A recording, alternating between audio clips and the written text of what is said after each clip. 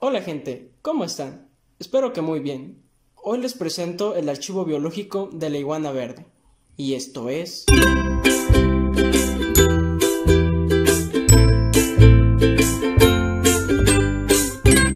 La biblioteca de Lepti.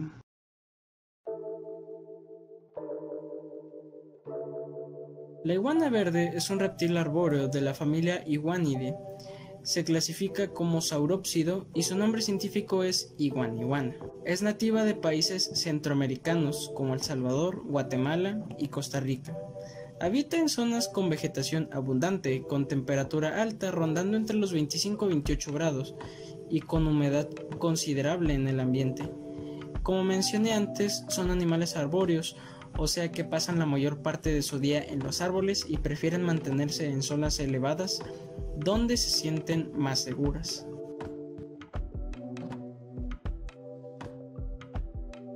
A diferencia de otros miembros de la familia Iguanidae, la iguana verde es completamente herbívora, y siendo sus alimentos preferidos la lechuga, la espinaca, el pepino, la zanahoria, el perejil, las fresas, los plátanos, las uvas, las cerezas, el melón y la papaya. La mayoría de estos son alimentos que comen en cautiverio, ya que en estado salvaje consumen cualquier tipo de forraje y frutos silvestres en la zona en la que habitan. Esto convierte a la iguana verde en un reptil mascota muy fácil de mantener, claro, sin contar la necesidad de un amplio espacio para la comodidad del animal. Si tú como yo tienes o piensas tener una iguana de mascota, tienes que tener en cuenta que la lechuga no es un alimento muy bueno para ellas, y menos para dárselo de comer como alimento diario, ya que la lechuga no cuenta con las proteínas necesarias para una iguana, y dárselo de comer todos los días como único alimento podría causarle la muerte por inanición.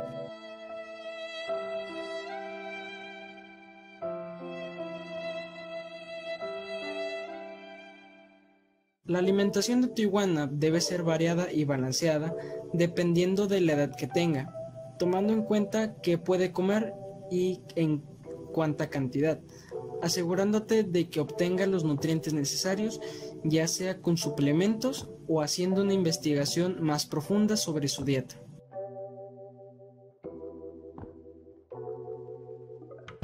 Ahora les hablaré acerca de las características físicas de este animal, empezando por la cola. ¿Y por qué por la cola? Te preguntarás. Porque la cola de una iguana puede ser la diferencia entre la vida y la muerte de este individuo. ¿Y cómo puede la cola de esta cosa escamosa con patas ser punto clave para su supervivencia? Muy fácil. Si una iguana se ve en la necesidad de defenderse de un depredador, lo primero que hará es intentar intimidarlo aplastando su cuerpo y extendiendo su papada, esto para aparentar ser más grande.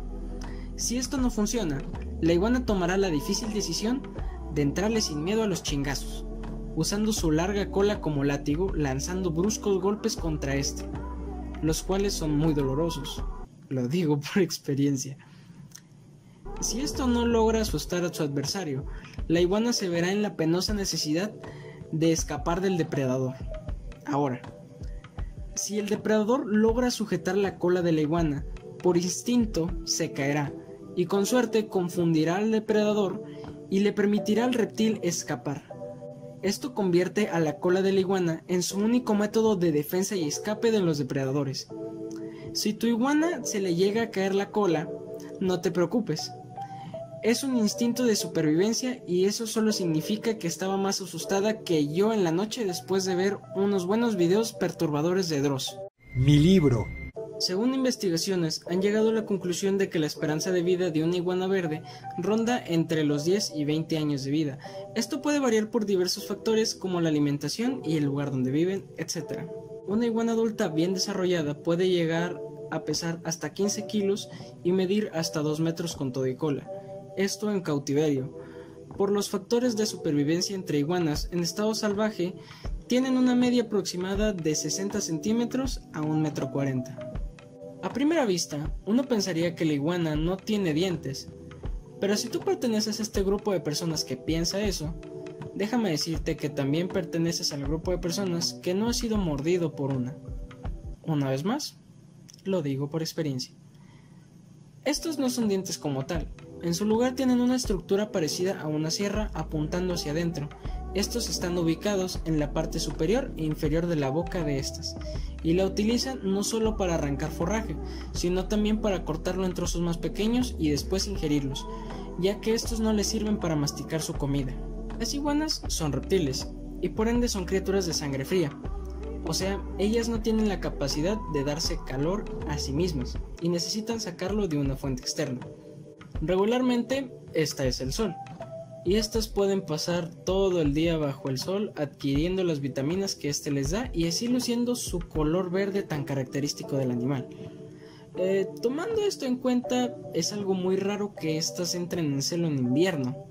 Y sí, se ponen más calientes en la etapa del año más fría.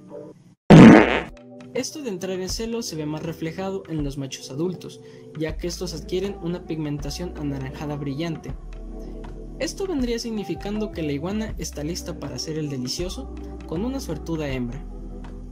Ahora, si todo sale bien después de una larga noche de pasión invernal, el macho le habrá dejado la semilla a la hembra, la cual tiene una rara habilidad que consiste en que la hembra puede almacenar la semilla del macho hasta que ella decida fertilizar los huevos.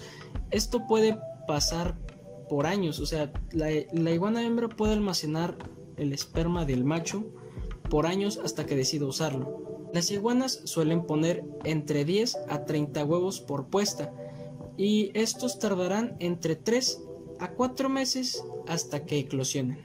Pero ¿cómo puedo diferenciar a las iguanas hembra de las macho? De la siguiente manera. Las características físicas del macho son más llamativas, ya que la cresta es más grande, al igual que la papada, la cual abarca una extensión de 90 grados. También tienen unos característicos bultos debajo de lo que equivaldría a sus orejas o bultos subtimpánicos, algo casi exclusivo de los machos. En su defensa, las hembras poseen una cabeza más plana y alargada. Todo esto es más fácil de identificar cuando alcanzan la adultez o la madurez sexual. Esto sucede casi a los 3 años de edad de la iguana, pero si quieres separar o identificar a las iguanas hembra de las machos desde que nacen, hay una forma muy acertada de hacerlo, mediante los pómulos femorales.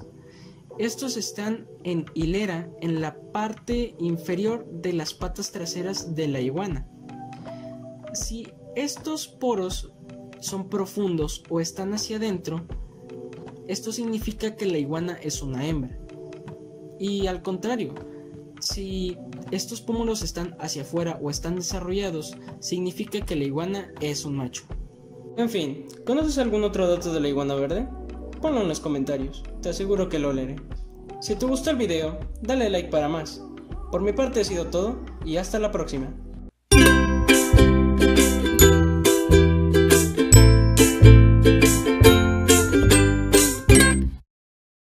Y dárselo de comer todos los días como único alimento podría causarle la muerte por inanición. Definitivamente corta eso, David, porque hasta ahora va muy bien.